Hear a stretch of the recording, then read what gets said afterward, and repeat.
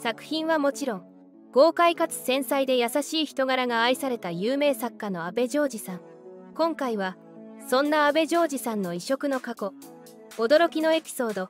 死因の真相について見ていきたいと思います。阿部ジョージさんが生まれたのは父親が日本郵船の重役を務める裕福な家庭でした。それゆえに海外での生活をも経験していた阿部ジョージさんは少年時代から作家を志す少年だったといいます。作家として成功した阿部ジョージの経歴を知っていればまっすぐ作家を目指してきたのか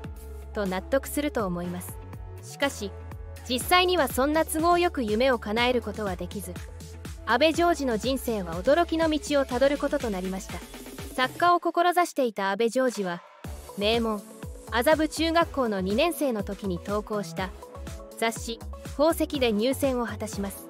そのままトントン表紙に成功するかと思いきや当時有名な作家であった江戸川乱歩に作品を否定されてしまったそうです。自身の作品を否定された阿部ジョージさんはそのままぐれてしまいなんと暴力団に出入りするようになってしまいました。14歳で暴力団に出入りを始めその2年後慶応高校在学中にもかかわらずそのまま16歳で組員として活動するようになります。そんな暴力団の世界に足を踏み入れながらもプロボクサーや用心棒競馬解説者とさまざまな職を経験していったようです。高校在学時にも暴力団との関係がバレることなく過ごした阿部ジョージさんは高校卒業後暴力団組員という身分のまま日本航空の国際線客室乗務員として勤務しています。しかし勤務から4年後には暴力団とのつながりが明らかになったことでクビとなりその後しばらくは逮捕されて刑務所で過ごす日々を繰り返したようです。主な逮捕の理由は銃刀法違反だったとの情報があるため暴力団組員として生活していたのかもしれませんこのように20体の間に2度も服役するという驚きの生活をしていた阿部ジョージさんでしたが4年間の服役期間を過ごして刑務所の中で自身の今後を大きく変える本と音楽との出会いを果たしたそうです刑務所に服役する間に E.M. シオランの作品である「生誕の最悪」や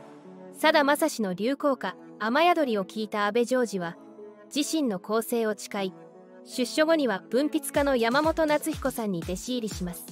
少年時代入賞するほどの実力を持っていた阿部ジョージさんは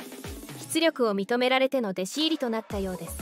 1979年に自身の構成を決め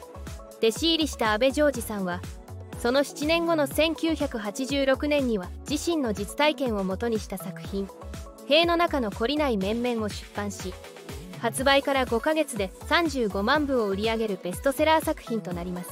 映画化もされた「塀の中の懲りない面々」は「懲りない」というフレーズが話題となりその年の流行語大賞まで獲得するほどの人気となりました。それ以後は人気作家として不動の地位を築き上げ1991年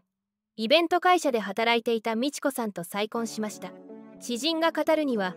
あの安倍さんが美智子さんの言うことだけは必ず守るということでした。お酒に関しても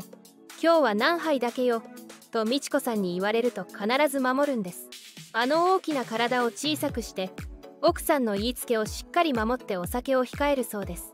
そんな安倍ジョージさんにはいくつかの仰天エピソードがあります。まず1つ目は安定した作家生活を送っていた安倍さんでしたが時折ヤクザをしていた時の所作を垣間見せることがあったそうです。赤坂のラウンジで囲む会をした時のことで文芸誌編集長の何気ない一言に安倍さんが激高したというのです。切れた安倍さんはクリスタルの灰皿を床に投げつけ真っ二つに割ってしまい見ていた周りの人たちはシーンと静まり返ったそうです。ブライ派と冠のつく作家は少なくありませんが彼は本物でその場にいた編集者の方々は肝に銘じたようです。2つ目は安倍ジョージさんと同級生だった元首相の橋本龍太郎さんです。橋本さんとは麻布中学時代に同級だったそうで雑誌の取材を受けた安倍さんは自分は勉強がかなり下だったけどその下にいたのが橋流だったと笑っていました。安倍さんと橋本さんとはずっと仲が良くヤクザ時代に安倍さんが背負った借金の面倒を見てくれたのも橋本龍太郎さんだったそうで橋本龍太郎さんのハンコをついた名刺が随分役に立ったということでした。3つ目は安倍さんといえば岡田奈々さんの大ファンであることが有名です。アイドルとして絶頂を極めていた岡田さんですがストーカー被害に遭ってしまい手を怪我してしまいました。警察に被害届を提出したことで刑事事件として本格的な捜査が開始されたものの犯人が逮捕されることはありませんでした。ところが当時安倍さんは福岡刑務所に服役していましたが同じ刑務所の中に岡田さんのストーカーがいたのです。事件は犯人不明のまま時効になったものの岡田奈々の大ファンである作家の阿部ジョージさんがヤクザ家業のため服役していた福岡刑務所で犯人の男を見つけ散々しばき上げたそうです。そんな阿部ジョージが大腸がんと診断されたのは2015年2月のことでした。情報によれば腹部に強い痛みを感じた阿部ジョージは救急車にて病院に運ばれたそうで検査の結果痛みの原因は腸閉塞によるものだったようですが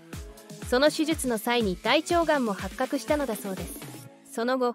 腸閉塞の手術は無事に終えることができましたが大腸がんの方は思いのほか進行していたようで一筋縄ではいかない状況になっていました。発覚後しばらくして大腸がんの摘出手術に臨んだ安倍ジョージでしたが一度の手術では摘出しきれないほどにがんが進行しており2016年4月まで命が持たないかもしれないと宣告されています。その後安倍ジョージさんは飲酒を控え付き合い程度に少し飲むことしかしなくなったのだそうです。余命宣告をされるほどに安倍ジョージの命を脅かしていた大腸がんですが実は安倍ジョージの死去の理由は大腸がんではないようです。安倍ジョージさんが亡くなったのは2019年9月2日のことでした。死去の理由は急性肺炎でありこれらの情報は2019年9月8日に安倍ジョージの公式サイトにて公表されています。また肺炎にかかるのは初めてのことではなくどうやら定期的に患ってしまうほどに体が弱ってきていたようです。最後に安倍ジョージさんが妻の美智子さんに晩年。こんな年まで生きていられて十分お釣りが来る人生だった。ありがたい。強運な人生だったよ。と語ったそうです。そんな安倍ジョージの葬儀は近親者のみで粛々と行われ